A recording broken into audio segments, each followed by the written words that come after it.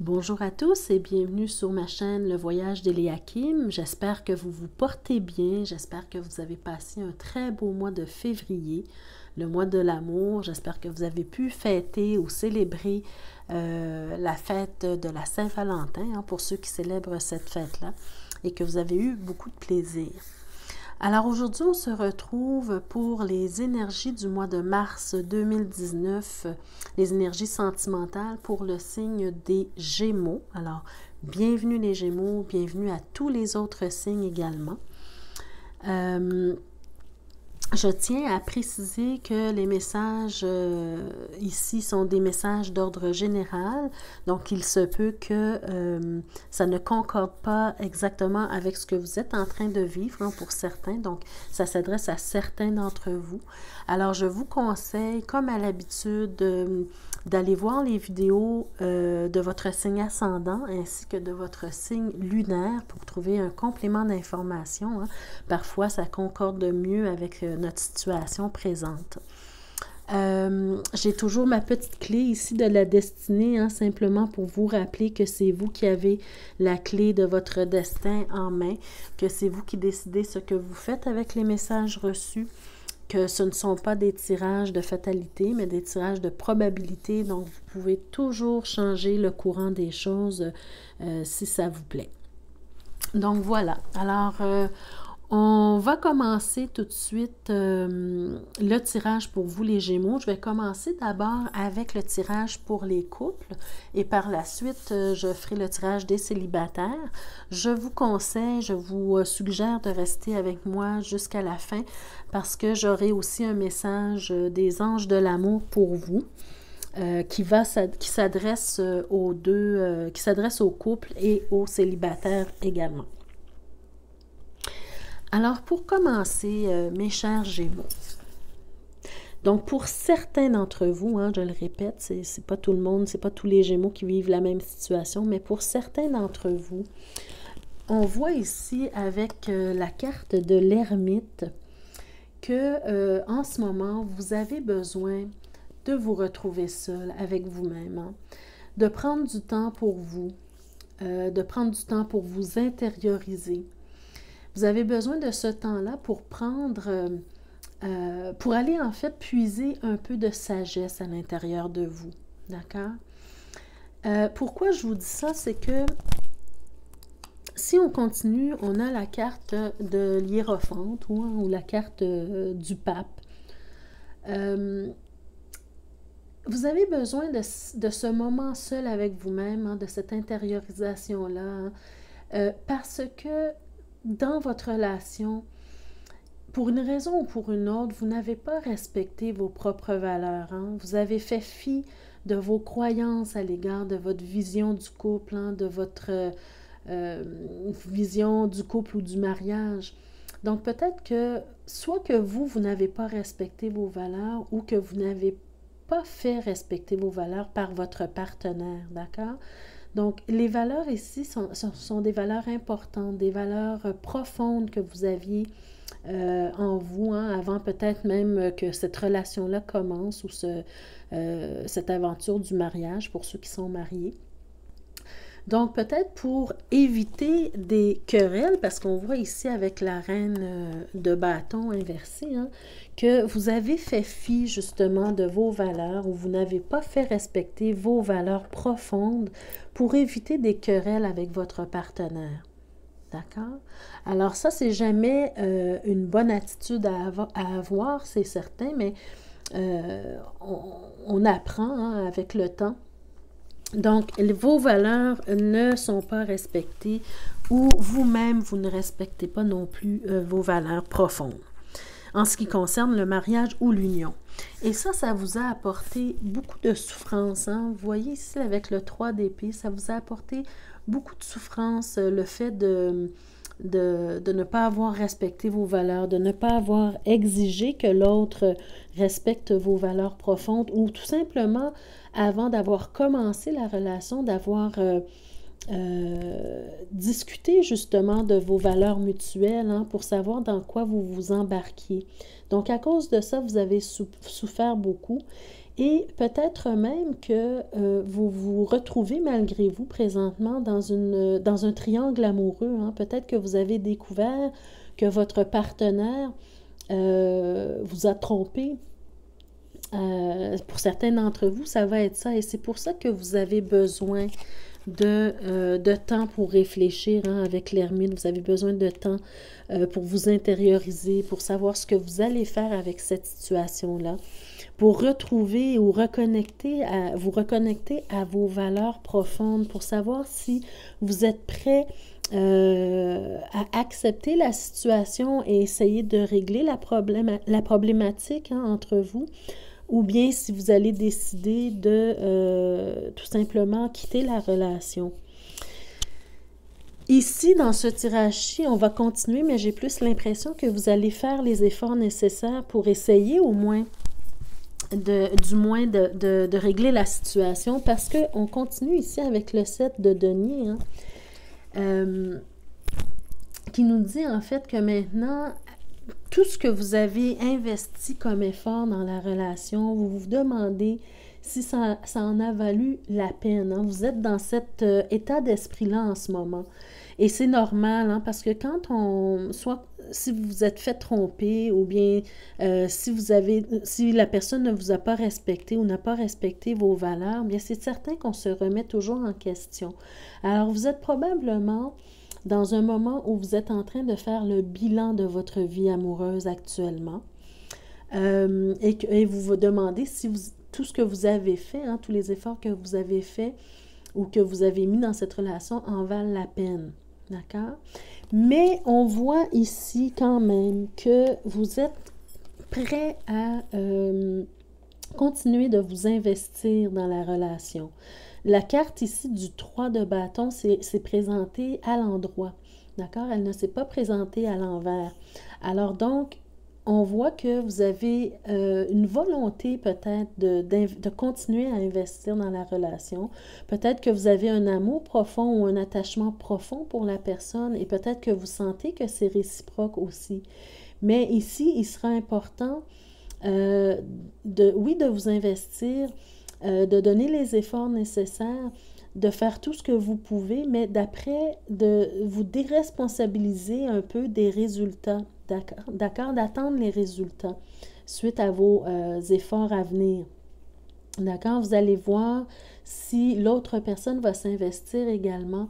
Et euh, c'est ce que vous souhaitez en fait. Hein. Vous souhaitez que vous êtes prêt à vous investir, mais si vous voyez que l'autre s'investit également, d'accord, que votre partenaire veut également sauver la relation et essayer d'avoir une, même vision de, de votre couple. D'accord? Vous êtes conscient avec le 8 de denier que euh, dans la vie, personne n'est parfait, hein, que tout le monde peut faire des erreurs. Et vous espérez que justement euh, votre partenaire et vous-même aussi appreniez mutuellement de vos propres erreurs euh, distinctes, d'accord? Alors, si votre partenaire vous a trompé, par exemple, bien, euh, vous espérez qu'il apprenne de ses erreurs et vous, vous allez apprendre euh, de, votre erreur à vous, hein, de ne pas avoir été euh, assez fort ou assez forte pour faire respecter vos valeurs. Donc, tous les deux, vous avez quelque chose à apprendre de cette situation-là. D'accord? Mais vous, vous voulez que les choses changent et que ça change vite que la situation se règle le plus rapidement possible. Donc, il faut mettre tous les efforts, il faut faire, il faut euh, enlever tout ce qui peut euh, vous empêcher de, que les choses changent, hein. tout ce qui peut empêcher la réalisation de, de votre connexion à votre partenaire, si je peux dire. Donc, votre partenaire devra faire les efforts également euh, s'il y a, a quelqu'un d'autre dans le portrait, il devra, faire euh, l'effort de quitter cette personne-là si euh, il veut vraiment, il ou elle, hein, veut vraiment retrouver la relation que vous aviez auparavant. Donc, les choses vont devoir changer rapidement à ce niveau-là parce que vous êtes prêt à laisser une deuxième chance. On voit que euh, éventuellement vous allez retrouver votre enthousiasme. On a le 4 de, coupe inversé. Donc, c'est un. Quand cette carte-là, quand elle est inversée, elle est plus positive, si je peux dire. Alors, ça nous dit que vous retrouvez votre enthousiasme et que vous espérez que la, situation rentre dans l'ordre. C'est votre souhait le plus, euh, le plus profond. Et on voit que votre partenaire également, cette carte-là aussi inversée, nous parle de soulagement, que votre partenaire est soulagé face à votre attitude, hein, euh, de voir que, que vous avez, premièrement, que vous acceptez de redonner une chance, que vous avez une attitude qui lui dit que euh, vous êtes conscient ou consciente que euh, l'erreur est humaine, que personne n'est parfait et que vous, vous êtes prêt à vous investir à nouveau dans cette relation-là. Hein? Alors, votre partenaire se sent soulagé de cette attitude-là. D'accord? Si on continue ici, on voit que vous avez euh, le, pardon, le 4, le 4 de bâton. Hein? Donc, vous avez eu peur de perdre votre confort euh, et votre sécurité affective hein, avec cette personne-là. Et vous vous sentez encore insécure peut-être face à l'avenir. Mais si vous ne faites pas les efforts euh, nécessaires, tous les deux, hein, on parle de, de, vous, mais on parle de votre partenaire aussi. Donc, si vous ne faites pas les efforts nécessaires tous les deux, bien, euh, on voit que votre relation est vouée à l'échec ici. D'accord? Et vous allez avoir perdu l'occasion également de euh, redonner une chance à votre union. Alors, vous êtes bien parti. Vous avez ici, parce que ça, c'est... On voit ici, dans ce tirage-ci, qu'il y a de l'amour entre vous.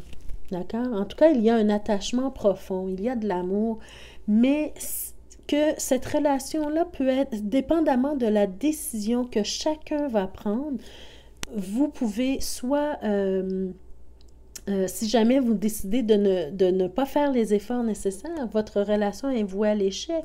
Et pourtant, vous aviez l'occasion de régler la situation. Vous aviez l'opportunité devant vous, tous les deux. D'accord?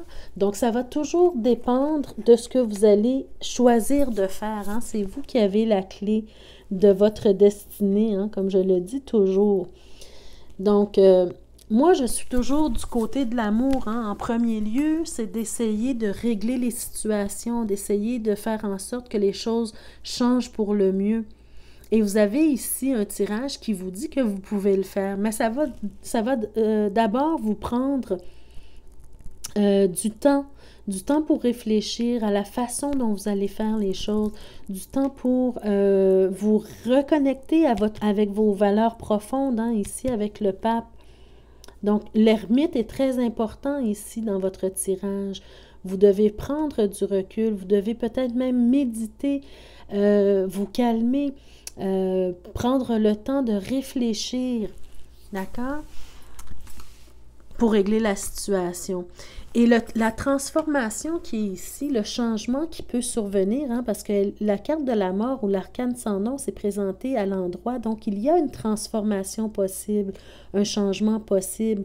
Bien, ça va passer par le, votre partenaire, hein, il devra quitter la personne qui est venue entre vous ou qui l'a mis entre vous.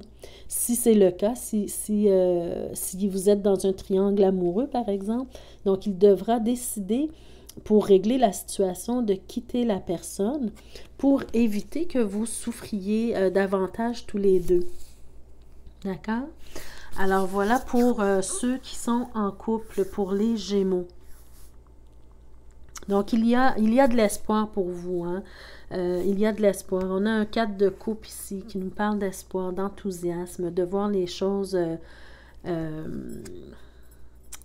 de rêver à plus pour cette relation-là, d'accord? Il y a un certain soulagement aussi. Alors, saisissez l'occasion que vous avez de régler la situation. Et si au bout du compte, si en finalité vous voyez que ça ne fonctionne pas, vous allez pouvoir décider de quitter la relation ou en tout cas de faire, euh, euh, votre vie séparément, mais au moins vous aurez la satisfaction de savoir que vous avez tout fait, vous avez tout mis, euh, vous avez mis tous les efforts possibles pour euh, que ça fonctionne entre vous, parce que vous avez beaucoup trop investi dans cette relation-là pour la jeter rapidement comme ça. Donc voilà pour vous, mes chers Gémeaux qui sont en couple. Maintenant, pour ceux qui sont célibataires. Alors, pour ceux qui sont célibataires, ceux qui sont en couple, restez avec nous jusqu'à la fin. Comme je vous ai dit, j'ai un message des anges de l'amour pour vous. Alors, pour euh, les célibataires, hein, on commence à nouveau avec euh, l'ermite.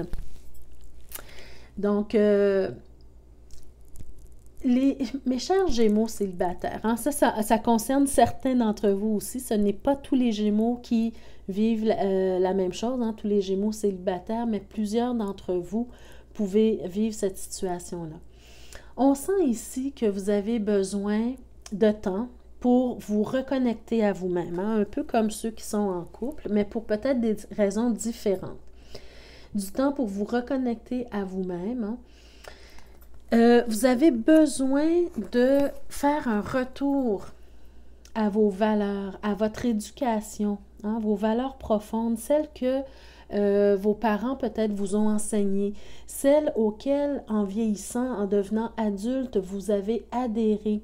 D'accord? Parce que vous avez eu probablement une bonne éducation et vous avez eu des. On vous a transmis des valeurs auxquelles vous croyez profondément. D'accord?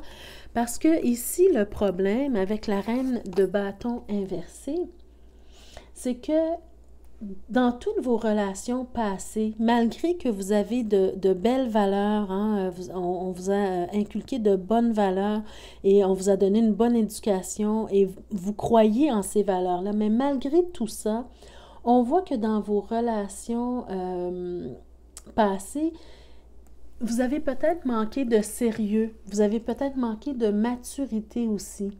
Vous avez peut-être euh, vécu beaucoup de querelles aussi dans vos relations. Hein. C'est ce que cette carte-là peut, euh, peut nous dire.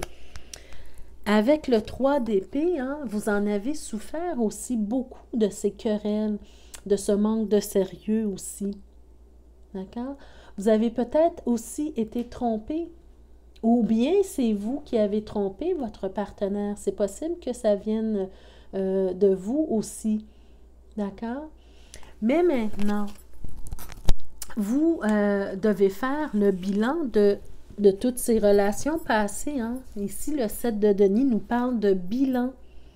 Euh, oui, ça nous parle d'efforts qu'on met, mais ça nous parle aussi de, de faire le bilan de réévaluer notre façon de voir, notre façon de faire aussi.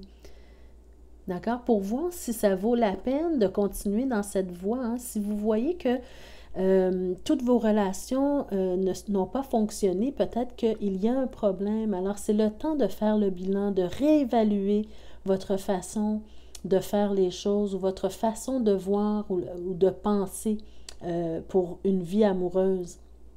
D'accord? Faites la réévaluation de toutes vos expériences amoureuses et vous allez voir que vous allez en, apprendre beaucoup quand vous faites un, euh, un retour à ça. D'accord? Trois de bâton, ici. Euh, ben c'est ça. Alors, non seulement vous devez faire le bilan, mais vous devez aussi investir. Mais cette fois-ci, ne pas investir dans une nouvelle relation tout de suite, hein, ne pas vous précipiter, mais plutôt investir en vous-même. D'accord? Avoir une vision plus claire de ce que vous voulez maintenant, de ce que vous ne voulez plus également dans une relation amoureuse. Hein? Pour pouvoir penser à vous investir dans une nouvelle relation, c'est les étapes que vous devez faire. En premier, vous investir en, d'investir en vous, hein? prendre le temps de réfléchir à ce que vous voulez et ce que vous ne voulez plus. Prendre le temps de vous reconnecter à vos valeurs profondes, d'accord? Et également, bien, vous devez apprendre justement de vos erreurs passées, hein, de tout ce que vous avez vécu dans vos relations passées. Ça doit servir à quelque chose, même si vous avez vécu beaucoup d'échecs les échecs sont là pour nous apprendre, donc il faut tirer les leçons, tirer les leçons de, ces échecs-là, de ces, euh, de ces relations euh, passées qui ne vous ont rien peut-être apporté. Donc il faut apprendre de, de ça pour pouvoir faire les changements nécessaires, pour pouvoir transformer votre vie. D'accord? Donc, parce que les choses doivent changer dans votre vie. Vous, vous n'êtes plus heureux, vous n'êtes plus heureuse dans cette situation-là. Hein. Vous avez envie d'avoir une relation qui va vous combler, qui va vous convenir, euh, qui va vous apporter le soutien que vous méritez. D'accord? Alors, vous devez enlever tout ce qui peut nuire à vos futures relations. Et ça, c'est de, euh, de, vous, de prendre le temps de vous intérioriser pour vous comprendre, pour vous connaître, D'accord? Pour savoir ce que vous voulez, ce que vous ne voulez plus, pour retrouver vos valeurs et pour vous respecter aussi. D'accord? Donc, enlevez tout ce qui nuit de votre chemin euh, pour votre vie future amoureuse. Le cadre de coupe inversé, eh bien, vous allez certainement trouver éventuellement la, la, motivation de justement transformer votre vie. Hein? La motivation de, faire les changements nécessaires dans votre vision des choses, dans la façon que vous avez de faire les choses, vous allez sûrement trouver la motivation hein, en revenant à vos valeurs, comme je le dis euh, depuis le début. D'accord? Vous allez retrouver l'enthousiasme de, de, prendre soin de vous et de, de mettre les efforts à faire en sorte que vous attirez à vous une personne qui va vous convenir. D'accord? 8 d'épée aussi inversé. Et vous allez faire ça pour vous libérer justement des schémas amoureux toxiques de votre vie. De vous libérer de vos schémas, euh, votre, la vision que vous avez du couple ou de l'union. D'accord? Donc, vous avez besoin de vous libérer de ces schémas-là. Hein. Le 8 d'épée, on voit, si je vous la mets la carte à l'endroit, on voit que vous êtes comme dans un carcan mental, dans une façon de voir les choses peut-être qui sont qui est erronée. Hein. Une façon de voir euh, euh, vos, vies amoureuses. Vous êtes peut-être, vous vous êtes tellement peut-être habitué à euh, des relations toxiques que vous vous enfermez et vous vous mettez vous-même des obstacles pour euh, des, potentiels amoureux normaux. D'accord? Donc, c'est un travail à faire. Alors, avant de vous embarquer dans une nouvelle relation, faites le nécessaire. Hein? Prenez le temps qu'il faut. D'accord? Pour vous reconstruire, vous rebâtir. Euh, on a le, le, de bâton inversé. Donc, ce que ça nous dit, c'est parce que vous avez euh, peur de toujours retrouver, euh, vous retrouver dans des relations sans engagement. Hein. C'est peut-être euh, de là que vient maintenant votre nouvelle motivation ici à changer les choses, hein, à transformer votre vie, parce que vous avez peur de toujours et encore vous retrouver dans des relations sans engagement et de ne jamais plus euh, vous ouvrir à l'amour éventuellement, si vous continuez de cette façon. D'accord? Ça, c'est vos craintes ici, dans cette position. D'accord? Alors, euh, euh, oui, avec euh, la peur de, de, ne pas... c'est la peur de toujours vous retrouver dans des relations sans engagement, mais aussi de ne pas vous ouvrir à l'amour. J'ai oublié de vous montrer cette carte. Alors, avec le cadre de denier inversé, hein, peur de ne pas vous ouvrir à l'amour éventuellement si ça continue comme ça pour vous. Et si vous ne faites rien justement pour changer la situation hein, ou, changer votre schéma, votre schéma euh, euh, et si vous vous précipitez, si vous précipitez pardon, dans une autre relation sans avoir réglé la problématique ici, bien, euh, vous allez peut-être euh, rater l'opportunité de faire euh, une nouvelle rencontre. Hein. Euh, non seulement de faire une nouvelle rencontre, mais aussi vos prochaines relations, si vous ne faites rien, sont encore vouées à l'échec. Et là, vous manquez des occasions de faire une nouvelle rencontre euh, de trouver le véritable amour, hein, l'amour que vous méritez, parce que vous avez la chance de faire ça. Vous avez la chance de trouver quelqu'un qui va vous convenir si vous vous le permettez. Mais pour cela, il faut, euh, comme je l'ai dit depuis le début, vous intérioriser, revenir à vos valeurs. D'accord? Alors maintenant, c'est le temps euh, du message des anges de l'amour, justement, pour euh, une ou l'autre des situations, hein, que vous soyez en couple ou que vous soyez célibataire. La carte qui a été tirée pour votre tirage, c'est la belle carte de rester optimiste pour votre vie amoureuse. Voyez-vous? Belle carte, hein? Restez optimiste pour votre vie amoureuse. Et ce que cette carte vous dit, c'est la pensée positive et la foi. Voyez-vous ici, on, a le pape, hein, la foi. Donc la pensée positive avec l'enthousiasme ici et la foi vous apporteront l'amour éventuellement. Alors, dans cette relation-là, que ce soit en couple, si vous avez décidé de mettre les efforts pour que la situation euh, se règle, restez optimiste. D'accord? C'est la foi et l'amour qui vont vous apporter euh, une vie amoureuse euh, stable. Et ceux qui sont célibataires, la même chose. Hein? Le travail, la foi et l'amour de vous-même. Je vais vous lire ce que le carnet en dit pour cette carte. Euh, alors, ça vous dit les anges de l'amour vous envoient cette carte pour vous rappeler que vous avez une grande influence sur la satisfaction de votre vie amoureuse. Si vous vous plaignez ou vous tracassez, les anges vont vous guider vers une perspective plus optimiste. Même si vos espoirs ont été bien souvent déçus, il y a toujours de l'espoir pour qu'une relation romantique vienne à vous. Si vous y croyez, hein, il faut y croire. Faites un premier pas dès aujourd'hui pour concrétiser la vie amoureuse que vous désirez. Que vous soyez seul ou en couple, commencez par vous visualiser heureux et satisfait en amour.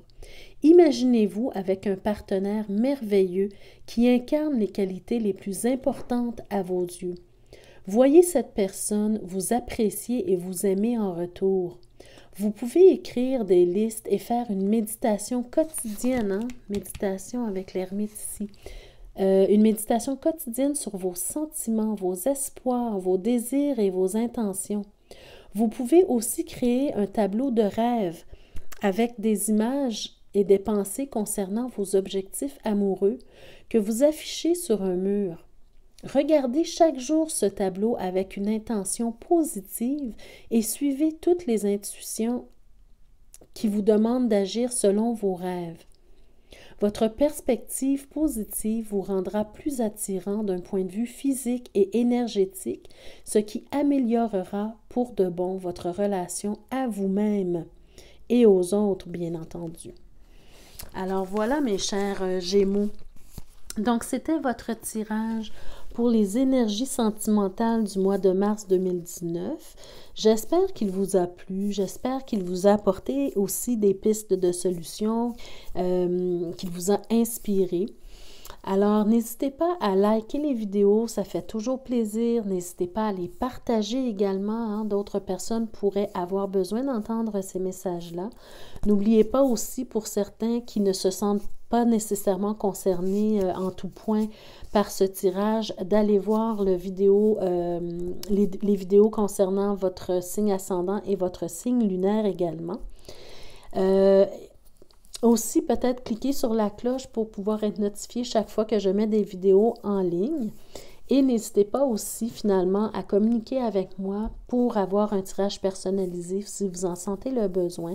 L'adresse se trouve euh, en barre d'infos et je me ferai un plaisir de vous envoyer l'information, euh, la procédure ainsi que mes tarifs pour votre tirage personnalisé. Donc sur, sur ce, mes chers Gémeaux, je vous souhaite de passer un très beau mois de mars. Prenez soin de vous. Prenez le temps de vous reconnecter à vous-même, à vos valeurs et de vous respecter aussi. Donc, je vous embrasse, je vous remercie de votre écoute habituelle et on se retrouve le mois prochain pour d'autres énergies sentimentales. Merci et au revoir.